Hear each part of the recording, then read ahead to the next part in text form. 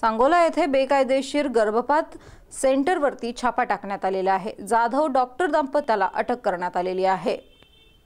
सांगोला शहरातील कडलास रोड येथील new Dhanashree hospital व मॅटर्निटी होम येथे गर्भपात करताना डॉक्टर सुहास जाधव व डॉक्टर अश्विनी जाधव यांना रंगेहात पकडले गेलेले आहे. सोलापूरच्या भरारी पथकाच्या डॉक्टर ॲडव्होकेट राजेश्वरी माने यांच्या पथकाने छापा टाकून दोघांवरती गुन्हा दाखल केलेला आहे.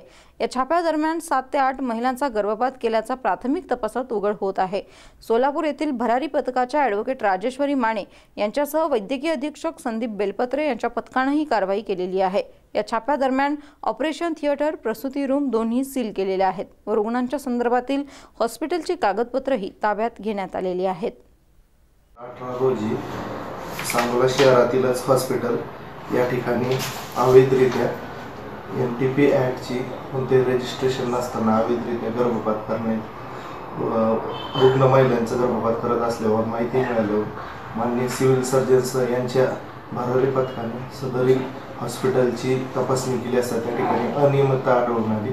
त्याच पद्धतीने त्या ठिकाणी अवैधरित्या एकूण सहा गर्भवती स्त्रियांचे गर्भपात केल्याचे आढळून आल्याने त्या ठिकाणी सदर हॉस्पिटल तपासून त्यांच्या भरारी पथकाने पोलीस स्टेशन येऊन तक्रार दाखल केल्याने त्यांच्या तक्रारीवरून सदरचा गुन्हा पोलीस स्टेशनला दाखल आहे. तपास सुरू आहे त्याचा तपास.